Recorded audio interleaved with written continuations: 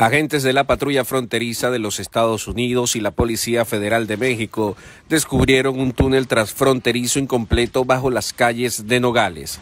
El túnel de 29 pies de largo fue encontrado durante un barrido de túnel binacional de rutina del sistema de drenaje que sirve a ambos lados de la frontera. La entrada al túnel estaba ubicada en el piso de concreto de un sistema de drenaje.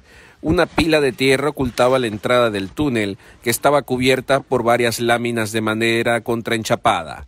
Debajo de la madera contrachapada, un recorte de cemento tapó el agujero. El túnel tenía aproximadamente tres pies de ancho y cinco pies de alto en la entrada. Se encontraron herramientas de construcción y cableado eléctrico dentro del túnel, que todavía se estaba construyendo diez pies debajo del nivel de la calle. La patrulla fronteriza de los Estados Unidos y las autoridades mexicanas continuarán monitoreando e inspeccionando el túnel incompleto hasta que esté debidamente asegurado y remediado con relleno de concreto. Este es el 123 túnel descubierto en el sector de Tucson desde 1990. La patrulla fronteriza del sector de Tucson trabaja en estrecha colaboración con socios estratégicos en México para detectar túneles en construcción para evitar el movimiento de contrabando ilegal, moneda, armas y personas a través de la frontera.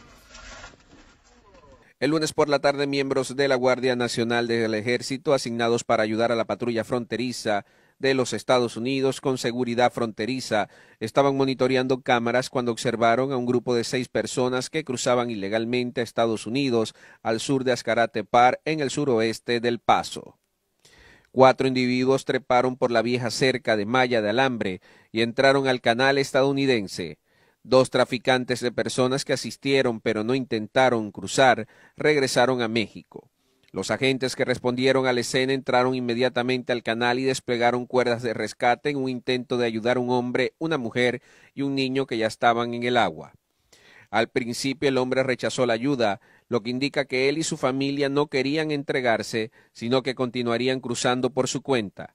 Después de que la gente señaló el peligro de las lesiones graves o la muerte del niño, el padre finalmente cedió y agarró la cuerda. Los agentes sacaron a los tres del canal. La cuarta persona salió del canal y regresó a México. Los servicios médicos de emergencia llegaron y transportaron a la madre y al niño de dos años al centro médico de la universidad para una evaluación adicional.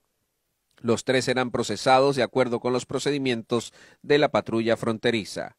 Esta situación podría haber terminado fácilmente en una tragedia, declaró la agente de patrulla jefe interina Gloria Chávez.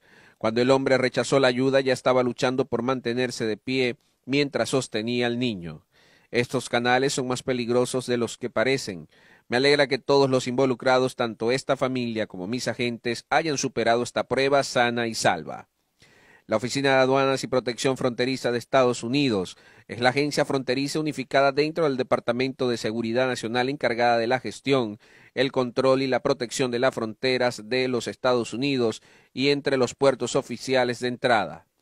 La patrulla fronteriza se encarga de asegurar las fronteras de los Estados Unidos mientras hace cumplir cientos de leyes y facilita el comercio y los viajes legales.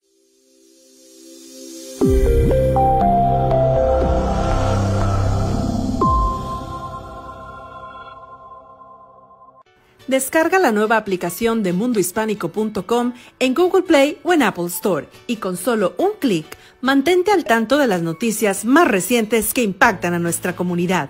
Inscríbete para recibir alertas de noticias y sea el primero en enterarte de temas como los cambios en las leyes migratorias que pasan en el mundo deportivo y lo más actual y divertido de la farándula.